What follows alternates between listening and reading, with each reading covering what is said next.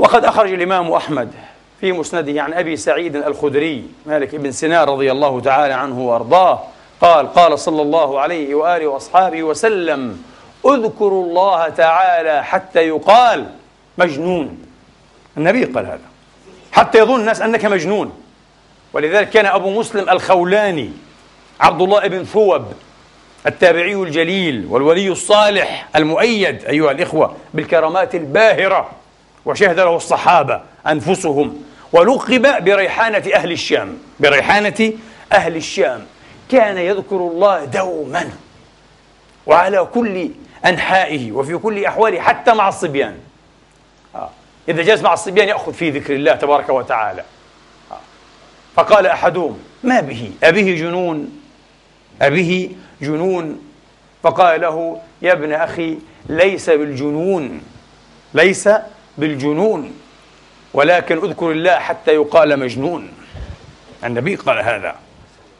كان عبد الله بن ثوب أو مسلم الخولاني قدس الله سره الكريم له سبحة. كانوا يسمونها التسبيح المسبحة. تسبيح موجود. وعبد الله بن ثوب متوفى سنة 62 للهجرة. وهذا يرد على من قال لم تعرف المسبحة إلا في القرن الثاني الهجري غير صحيح. عرفت في القرن الأول. وأبو مسلم الخولاني كان يتخذها. كان يتخذها كان له مسبحة تسبيح أيها الإخوة. يضعها كذا في يده وربما في ذراعه ويسبح بها. كانت كبيرة. يسبح. آه.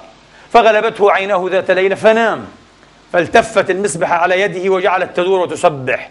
تقول سبحان منبت النبات سبحان دائم الثبات. فاستيقظ وإذا بها تسبح.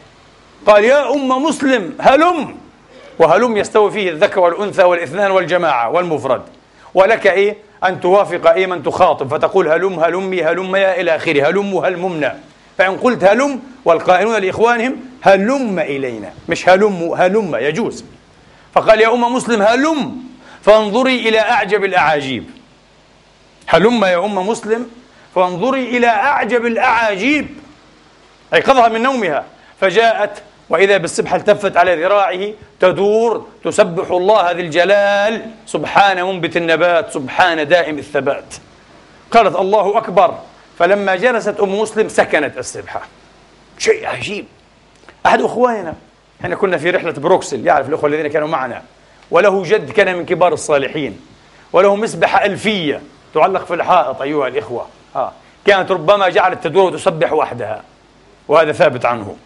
الشيخ القطب عبد القادر الجيلاني قدس الله سره. كان له سبحة أيها الإخوة تسبح وحدها الشيخ عبد الوهاب الشعراني يذكر عن شيخه الشيخ أحمد الكعكي رضي الله تعالى عنه وأرضاه. رضي الله تعالى عنه وأرضاه. قال كان له مسبحة من ألف حبة كبيرة. آه. يعلقونها هكذا في السقف ويديرون يسبحون بها. لهم أوقات معينة يستخدمون من الليل ويجعلون يسبحون إلى السحر حتى ينفجر. الفجر ويطلع عموده هكذا. أوراد. لا ينامون كأهل الغفلات وأهل اللذات وأهل التعليقات. آه. كلام دروشة كلام صوفية بهمش سوف نرى يوم القيامة من الذي يفرح ومن الذي يحزن. آه. تفكروا في كتاب الله قبل أن تعلقوا. أقول لهؤلاء. آه. يقول كان له مسبحة من ألف حبة كبيرة. يضبط بها أوراده في الليل والنهار. فجاء أحدهم أحد الفقراء الصوفية فسرق منها سبع حبات. لا ندري لماذا. لا ندري. سرق منها سبع حبات. ولم يفطن له الشيخ رضي الله تعالى عنه الشيخ أحمد الكعكي شيخ الإمام عبد الوهاب الشعراني رضوان الله عليه. لم يفطن لذلك. فعرض له النبي صلى الله عليه وسلم في المنام عرض الشيخ أحمد الكعكي. قال له يا أحمد لك كذا وكذا يوما تصلي بعدد ناقص. كان يضبط بها الصلوات على رسول الله. والنبي لاحظ هذا. قال أنت تصلي علي بعدد ناقص. يعني خمسة آلاف آه خمسة في سبعة. ناقص خمسة وثلاثين. لأنه مسروق منها سبع حبات. فاستيقظ الرجل فعدها فإذا بها ناقصة فعلا كما أخبر الرسول. وصدق رسول الله. من رآني؟ في المنام. فقد رآني حقا. فذهب إلى ذلك الفقير. أخبره الرسول عنه. قال له الذي سرقها الفقير فلان الفلاني.